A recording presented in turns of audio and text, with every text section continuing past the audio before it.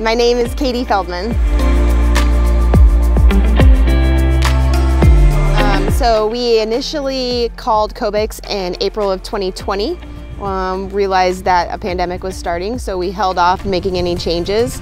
Fast forward to October 2021 and we have a giant windstorm um, with lots and lots of rain and we immediately called Vazgen up.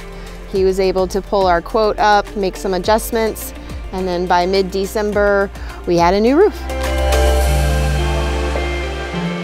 When we started looking at roofs, we checked out some different reviews, also talked to family and friends, but Cobex really stood out. Um, it was such an easy process from the initial phone call and visit with Vazgen all the way to delivering the check at the very end. Um, we had friends and family at about the same time get a roof from somebody else and their experience was not as easy and as positive as our experience was with Cobex. I knew Cobex was the right company um, when Noel called me on a Wednesday and said, hey, we'd like to start everything uh, this coming weekend.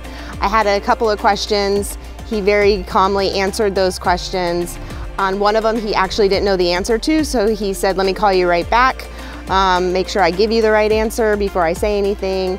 He called me back within 10 minutes, had the answer, um, and I just knew from that point that he wasn't just going to say what's going on just to get it done. He really needed, he really wanted me to know that um, I had all the information that I needed to get started.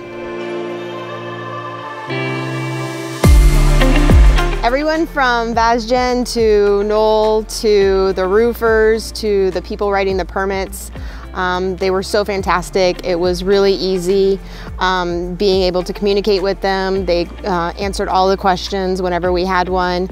Um, Noel helped us pick out the roof colors and then we just really easygoing and super fantastic. I no longer have to worry about a leaking roof. We were one of five houses in the neighborhood with wood shakes um, and now there's only four left, but it's really nice that come 4th of July I won't have to worry about fireworks landing on my roof or the rain coming in. So just that peace of mind of being able to sleep at night and knowing that the roof that we have is gonna last for a long time with no problems is super exciting.